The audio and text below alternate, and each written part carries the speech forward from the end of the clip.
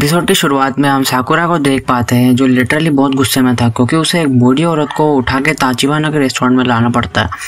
वो औरत साकुरा को शुक्रिया कहती है, जिससे साकुरा हर बार की तरह इस बार भी बहुत शर्मा जाता है। फिर वहाँ से जाने लगता है, लेकिन ताचिबाना उसे रोक लेती है।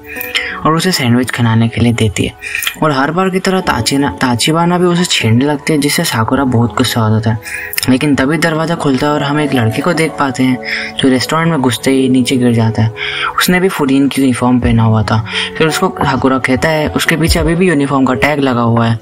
और वो लड़का पहले तो टैग को निकाल नहीं पा रहा था, लेकिन फाइनली टैग को निकाल लेता है। फिर वो लड़का कहता है तुम्हारे बालों के साथ तुम्हारा आईब्रोज के भी कलर सेम है। ठाकुरा कहता है तुम्हें कुछ दिक्कत है? वो लड़का उसके कंधे पे हाथ रख के उससे तसल्ली देने लगता है और इसे सुन के ताचिबाना बहुत हंसने लगती है। फिर हम उस लड़की का नाम पता चलता है, नीरे आकाही को। फिर नीरे एक बुक निकालता है और कहता है, तुम तो इस टाउन के नहीं लगते? हाँ फूरिन कोई आर्डन स्कूल नहीं है। यहाँ पर बहुत स्ट्रांग बंदे हैं जो जस्टिस के लिए लड़ते हैं, लेकिन तुमने क्यों फुरीन ज्वाइन किया? साकुरा कहता है फुरीन का नंबर वन स्पॉट हासिल करने के लिए। जो सुन के नीरे कहता है, ये कभी नहीं हो सकता। और दोबारा उसे तसली देने लगता है, जिसे शिवाना फिर से हंसने लग जाती है। कुछ देर के बाद वहाँ से जाने लगता है वो, लेकिन जाने से पहले एक बार फिर से दरवाजे को टकरा जाता है और फिर वो वहाँ से चले जाता है। साकुरा कहता है, ऐसे डरपोक फुरीन पे क्या कर रहे हैं? ताचिवाना कहती है, तुम्हें ऐसे किसी को जज नहीं करना फिर वो कहती है, तुम्हें लोगों से बात करना पड़ेगा, तभी तुम उनको समझ पाओगे, नहीं तो तुम उसे जान नहीं पाओगे कि वो असल में कैसा है। ये सब सुन के साकुरा को भी थोड़ा रियलाइज़ होता है। फिर वो एक ताचिवाना से सवाल करता है, क्या वो सच में एक फाइटर था? ताची ताचिवाना कहती है, तुम सिर्फ़ लोगों को देख के जज करते हो? फिर साकुरा वहाँ से चले जाता है। रास्ते में एक स्टोर के मालिक उसे ब्रेड खिलाने के लिए देते हैं, क्योंकि फुरीन के लड़के उन्हें हमेशा मदद करते हैं। और ये सुन के साकुरा बहुत शर्मा जाता है, फिर वहाँ से जाने लगता है, लेकिन वो स्टोर के मालिक उसे पार्सल करके दे देते हैं।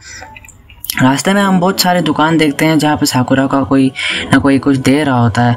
साकुरा अपने मन में सोच रहा होता है, ये चल क्या रहा है? ये लोग इतने फ्रेंडली क्यों हो रहे हैं? मेरे साथ फिर रास्ते में उसे कोई बुलाता है जिससे साकुरा बहुत डर जाता है। फिर हम एक लड़की को देख पाते हैं जो साकुरा से मदद चाहती है। फिर हम नीरे के देख पाते हैं, जिससे कुछ बंदे मिलकर पीट रहे होते हैं। वो लड़का कहता है, तुम सालो फूरिन के बंदो तुम्हें लगता है तुम टाउन को प्रोटेक्ट कर रहे हो, लेकिन सबसे ज़्यादा प्रोटेक्शन की तुम लोगों को ज़रूरत है। फिर वहाँ से जाने लगता है, लेकिन नीरे उसे पीछे से पकड़ लेता है और वो लड़का उसे एक झटका देता है, जिससे नीरे गिर जाता है। लेकिन नीरे फिर से उठता है और उसे पकड़ लेता है और फिर नीरे कहता है, तुम लोग मुसीबत में पड़ने वाले हो, तुम लोगों को और उनकी प्रॉपर्टी को नुकसान पहुँचा है। फुरन फुरिन तुम्हें नहीं छोड़ेगा, चाहे तुम जो भी हो, और ये सब सुनकर वो हंसने लगते हैं। और वो लड़का नीरे का बाल पकड़ता है, लेकिन नीरे भी उसे बहुत ज़ोर से पकड़ लेता है।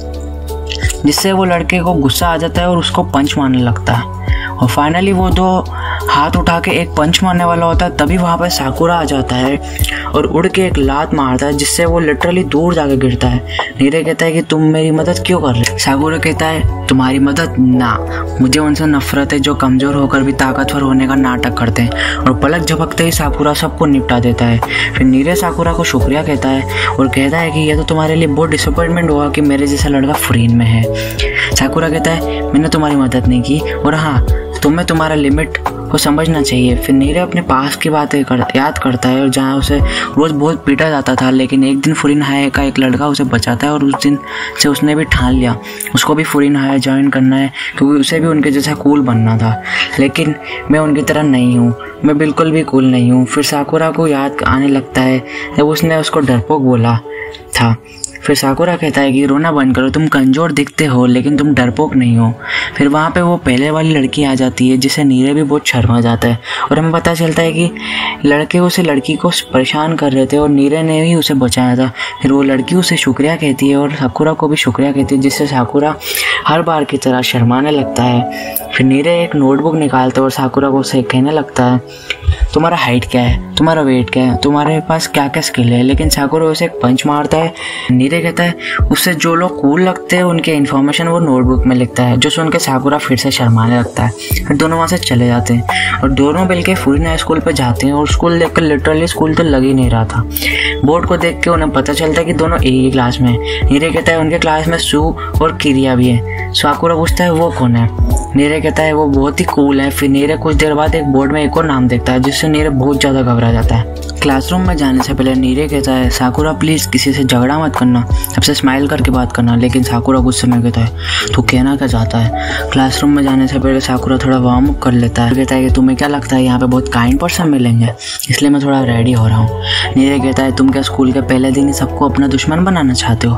फिर वो फुल एटीट्यूड के साथ दरवाज़ा खोलता है। फिर एक लड़का साकुरा के पास आने लगता है। जिससे साकुरा को लगता है वो लड़ने वाला है, लेकिन नीरे उसे रोक लेता है। हमें उस लड़के का नाम पता चलता है शुओ हयाता। फिर शुओ साकुरा के पास आता है और कहता है कि, मुझे तुमसे कुछ बात करनी है। साकुरा को लगता है वो लड़ने वाला है, इसलिए वो लड़ने के लिए रेडी हो जाता है। लेकिन शुओ आके उसके पीठ पे थपथपाने लगता है और कहता है, तुमने बहुत बढ़िया काम किया।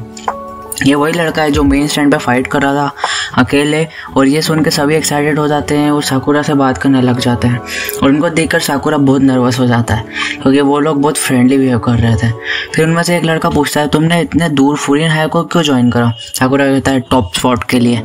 तभी एक बेंच उड़ के आता है साकुरा की तरफ़, लेकिन साकुरा बच जाता है। और बहुत एटीट्यूड के साथ एक लड़के को देखते हैं। फिर हम एक लड़के को देख पाते हैं, जिसके बाल बहुत बड़े थे। और आई थिंक ये बहुत ज़्यादा गुस्से में था। नीरे उसे रोकता है प्लीज़ उससे मत लड़ना, वो बहुत ज़्यादा स्ट्रॉन्ग है। और हमें उसका नाम पता चलता है शुगीता केतारो। टोगी सीता के आके उसके एक पंच मारने के लिए कोशिश करता है, लेकिन साकुरा हट जाता है। वो सीधा जाके बेंच पर लगता है और जो एकदम से टूट जाता है। फिर दोनों आमने सामने खड़े हो जाते हैं। साकुरा कहता है, चलो देखते हैं तुम में कितना दम है। और इसी के साथ ये एपिसोड खत्म हो जाता है। इसके नेक्स्ट एपिसोड में बहुत ही तगड़ा फाइट होने वाला है। और आपको एपिसोड कैसा लगा कमेंट बॉक्स में ज़रूर बताना। वीडियो अच्छा लगा होगा तो लाइक कर देना और सब्सक्राइब करना तो बिल्कुल मत भूलना। चलिए, मिलते हैं नेक्स्ट एपिसोड में।